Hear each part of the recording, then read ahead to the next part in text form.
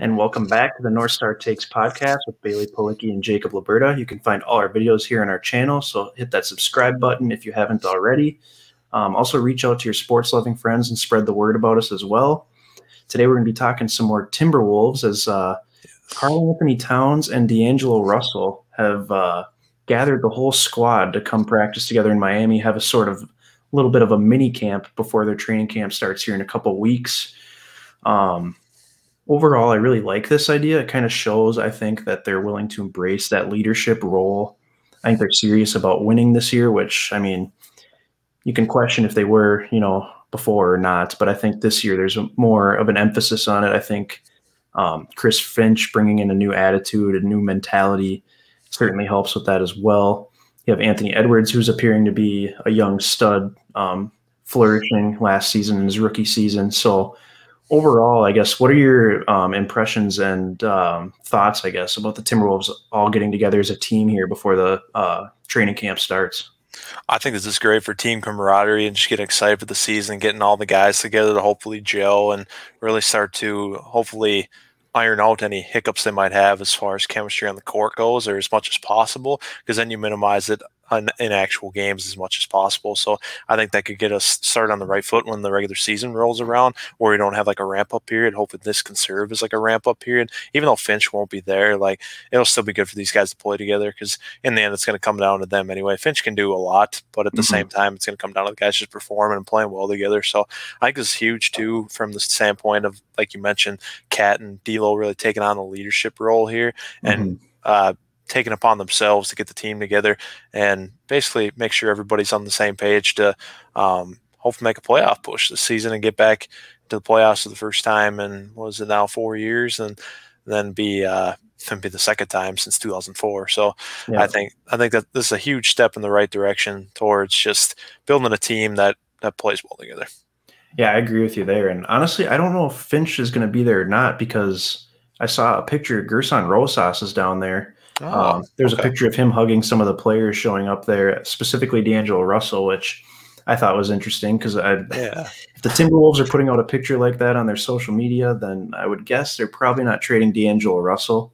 But uh, I guess you never know when it comes to that. But yeah, I think it's just a great move overall. Whether or not it was kind of like, I don't know if like Gersson said, "Hey, this might be a good idea," or maybe these two just truly did it on their own, which I'm really hoping is the case. But I think either way, this is just a huge step in the right direction. I mean, this is the kind of stuff this team needs in order to make that next step. Because in years past, um, they had gotten together. Made, I think there was one year they went to the Bahamas together, but I don't know if they really did much like basketball activity during that. Mm-hmm. Um, last year, obviously with COVID, they didn't get together at all, and people came into camp out of shape, um, zero chemistry whatsoever. Players were getting hurt left and right at the beginning of the season. So it was just kind of a disaster last season. And I, I think this is a good step for this season to at least get started on the right foot. How about you? Yes, absolutely. I think this is critical towards yeah, like like we've been saying, just team chemistry and really getting everybody or making sure everybody's probably I mean, this might sound a little silly, but at the same time, you have to question when you have guys like Juancho coming into camp last year out of shape. Like, we can really see what this team looks like yeah. before we start to like set too many expectations that the team might not be re- be able to reach if these guys come in here out of shape or just not looking good. So I think that's another thing to consider here with bringing this team together, and hopefully it'll give everybody a a clear idea of where what this team is capable of right from the jump here. Yeah, absolutely. And I, another thing I thought was interesting too, they only posted like three photos, I think, on their team's Twitter page. Mm-hmm. Um, but in the background, you could see Jarred Vanderbilt, who is currently not under contract, and you could also see Leandro Bolmaro, who is currently not under contract. So it, it kind of makes you assume that. I mean, it's been the assumption all along that those guys are going to end up signing with the Wolves. Mm-hmm. But it, that I think that just kind of further confirms that like these guys are going to be a part of the team at least for now. Um, but yeah, I like that they're bringing everyone in. Um, hopefully, like Jordan McLaughlin ends up going too if they're still thinking about bringing him back. Mm-hmm so yeah, I'll be curious. i am kind of interested to see like what all gets posted. You know, whether it's on the players' Instagram stories or if it's Timberwolves uh, team account as well. Just kind of see like what actually they're doing down there, um, how they're bonding, what kind of uh, interesting and entertaining things Ant will do while he's down there. I'm sure I'm sure he'll have something hilarious to say. So um, going back to the leadership question though, do you mm-hmm. think that KAT and D'Lo by doing this are are signaling that they're willing to take more of a leadership role on? Do you think that they just kind of think that they have to do it because they're um, the two centerpieces of the team, if you will? Um, I guess, do you think this is more of a force thing, or do you think that these guys are, you know, taking that onus on themselves to um, bring this team together? I'd like to think that they're taking it upon themselves to do this. Like it's not really forced. I mean, I guess you'll never know for sure, but at the same time, I just think that these guys are. I think they realize they have a star with them with Anthony Edwards. It's only going to get better and better every mm-hmm. year, and probably turn into a top ten player, like we mentioned, possibly top five. You never know what kind of ceiling he's got. So I think when they realized that at the end of last season. I think they they really understood that this team actually has pretty high potential, and there's a lot yes. of possibility there to make some noise in this Western Conference that maybe they wouldn't have thought of even a year ago. So I think that they're pretty excited with the direction this team's going in. I mean, you got Metta World Peace coming out to the uh, coming out to the public and saying yes. D'Lo's a killer and he's Metta World be, Peace. He's going to be a champion. You know, that's that's you can't can't get much better than that as far as uh, praise from the outside world. So I, I I'd say I'm I'm thinking that these guys are ready to take another step, but I obviously will believe when we see it. But I think I think this is more of a them just taking upon themselves, not really any outside influence there. What, what are you thinking, Bailey? Or do you think this is more of a force thing? I I'm with you. I'd like to think that it's them doing this on their own. I think KAT kind of has that in him a little bit. He's I'd say he's more of a silent leader, but he's more of the type to like gather everyone together. Um, I think he likes to bring people together, but he doesn't like to be outspoken. He'll do everything behind the scenes. Yeah. Yes. So I think that's kind of the vibe I've gotten from him because I think he also kind of organized that Bahamas trip a couple of years ago when yeah, the whole team went down there. So mm-hmm. I think he's kind of I think he kind of enjoys doing that sort of stuff. And I think, you know, obviously him and D'Lo being good buds, um, the two the two, you know, they're basically the two veterans on the team now, obviously outside of Patrick Beverley. Yeah. Um, the two guys I think this is huge for though is Malik Beasley and Jaden McDaniels because they're going to be the extra or not the extra, but like the uber role players. You know, they're going to be extremely important role players. Mm-hmm. Um, and for a guy like Beasley who ended up, you know, missing a lot of time at the end of last season with an injury, then he spends all summer in jail. It's like now now he can now now he can you know spend some time with the team, get back in the groove, you know, get back with all the guys, kind of rebuild some of that chemistry. Because honestly, he wasn't a part of a lot of it last season, so.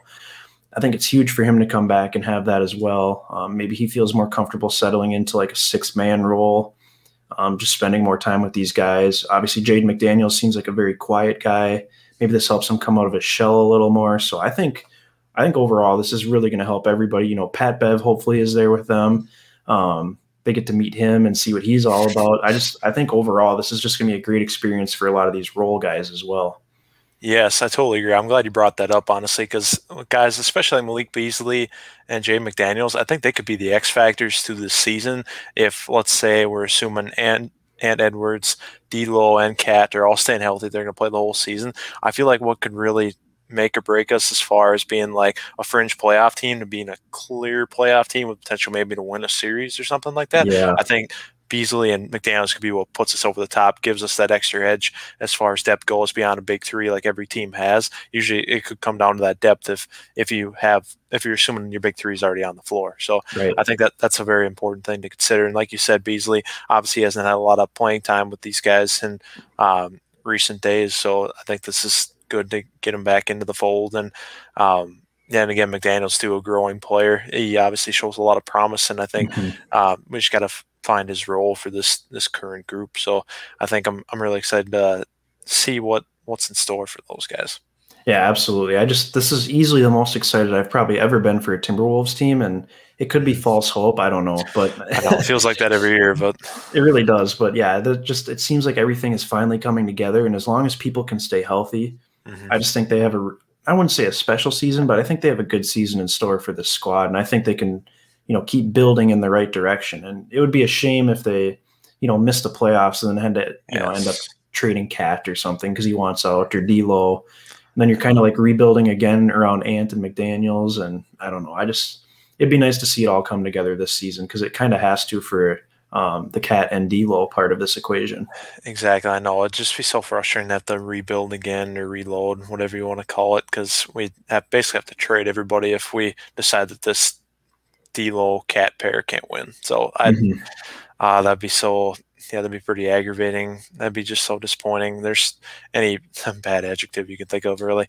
I, yeah. I, I just don't want to I want to get to a point where we're just moving forward. We're not moving back again. And we've had that happen how many times for the last nearly 20 years. So I'm, I'm done with that. yeah, I hear you, man. It's just at some point it's got to happen for this team. They got to start building a contender, not even necessarily a contender, but at least a winning team. At a least playoff do, team. Yeah. yeah. at least do what the Wild and Vikings have been doing. So I think exactly. I think it's certainly attainable. But um, exactly. yeah, we'll get into that more next time. But that's going to do it for this edition of the North Star Takes podcast. Um, once again, hit that subscribe button if you haven't already. We really appreciate all the support we've gotten, especially on our Timberwolves videos over the last couple months here. Yes, sir. Um, give us a follow on Twitter and Instagram as well. Um, we appreciate communicating with fans as well, um, hearing their thoughts in the comments, and also, yeah, leave comments below in this video. Um, what you're most excited about for this upcoming season, how you feel about the, the team getting together in Miami. Um, yeah, thanks for watching.